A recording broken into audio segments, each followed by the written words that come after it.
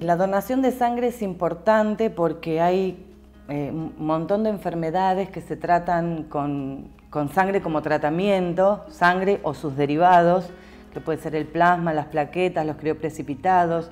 Entonces, bueno, dependemos exclusivamente de la solidaridad de la gente y la donación para tener este producto, que es la única manera que tenemos de, producirlo, digamos, es con la donación. No hay nada que lo reemplace, no hay ningún medicamento que cumpla esta función. Desde ahí es importante que hay patologías que tienen como único tratamiento, ya sea de sostén o como tratamiento de la enfermedad, este, la transfusión de sangre o algún hemocomponente.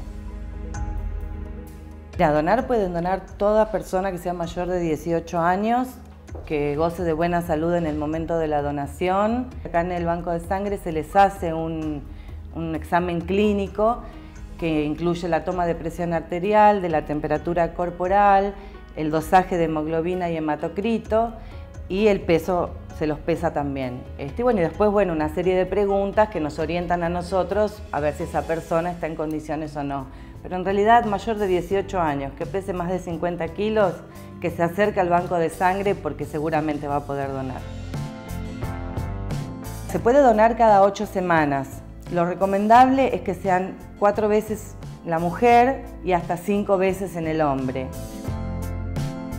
¿Quiénes no pueden donar? La gente que haya tenido una cirugía mayor en el último año, eh, los que pesen menos de 50 kilos, las mujeres que estén anémicas al momento de la donación, este, quienes se hayan hecho un piercing en los últimos seis meses, eh, algún estudio tipo videoendoscopía, endoscopía gástrica, también tienen que pasar seis meses de ese procedimiento, que haya tenido alguna enfermedad infectocontagiosa de tipo hepatitis C, B, HIV, esa gente no puede donar.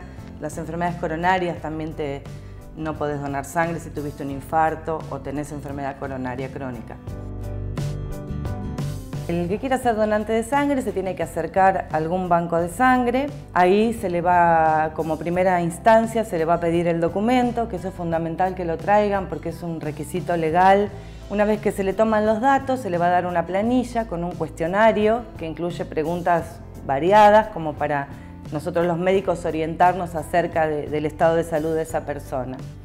Una vez que completa esa planilla, pasa al consultorio médico, ahí se le hace el examen clínico, se completan las preguntas, uno repregunta sobre algunas cuestiones y posteriormente a eso pasa a la sala de donación. Una vez ahí en la sala se le extrae la unidad de sangre que es de 450 mililitros, la extracción dura entre 8 a 10 minutos, la extracción en sí misma, después se queda unos minutitos más para poder este, recuperarse y que la presión se normalice y demás cuestiones Después sale de la sala de extracción, toma el refrigerio y está libre para hacer su actividad normal, volver a su trabajo, volver a su casa, hacer lo que tenga que hacer.